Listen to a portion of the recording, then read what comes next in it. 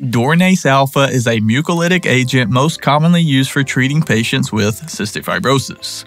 It's an inhaled drug that is administered in aerosol form with a nebulizer. In this video, we will provide an overview of this drug, including its uses, dosage, side effects, and more.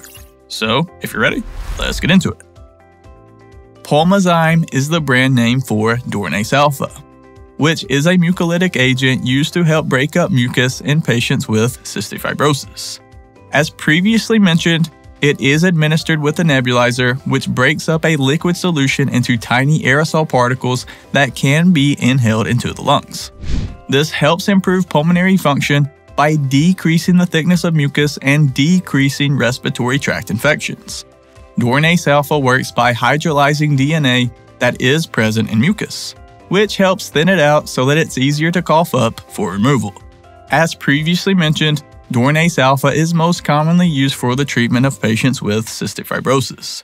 Cystic fibrosis is a chronic obstructive disease that affects the lungs and digestive system.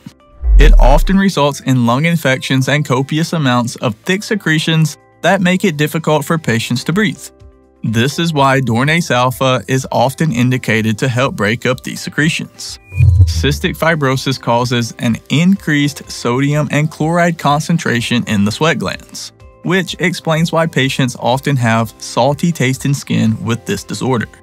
And as the disease progresses, it causes malnutrition and severe weight loss. The standard dose of Dornase alpha for adults when administered via nebulization is 2.5 milligrams once per day. However, adult patients with a forced vital capacity greater than 85% may benefit from the 2.5 milligram dose via nebulizer twice per day. For the most benefit, it is recommended that patients inhale Dornase alpha approximately 30 minutes before receiving airway clearance therapy. This gives the medication enough time to help break up thick mucus so that it's easier to remove. Dornase alpha is effective in helping break up mucus, but it can also cause a few adverse side effects, including chest pain, hoarseness, fever, indigestion, pharyngitis, rhinitis, rash, and conjunctivitis. Dornase alpha is contraindicated in patients who are allergic or sensitive to the drug.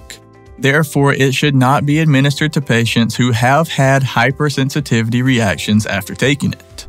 And you may be wondering what exactly is a mucolytic agent? Well, mucus is a sticky, vicious substance that is produced by the mucous membranes. It serves an important role by trapping foreign particles and bacteria which prevents them from entering the body. However, mucus can also build up and cause problems, especially in people with respiratory conditions. This is when mucolytic agents would be indicated because they work to dissolve mucus, which makes it easier to expectorate. The two primary types of mucolytic agents are acetylcysteine, aka Mucomyst, and Dornase alpha, aka Pulmozyme. Mucomyst is a similar inhaled drug indicated for the treatment of bronchopulmonary secretions and is known for its distinct, foul smelling odor. Check out the links below if you want to learn more about Mucomyst. But if you do want to support the channel, be sure to like and subscribe, I would greatly appreciate it. And there should be some other helpful videos popping up on your screen right about now that I think you will enjoy. And just a quick reminder, we are not doctors, this video is for informational purposes only. Thank you so much for watching, have a blessed day, and as always, breathe easy, my friend.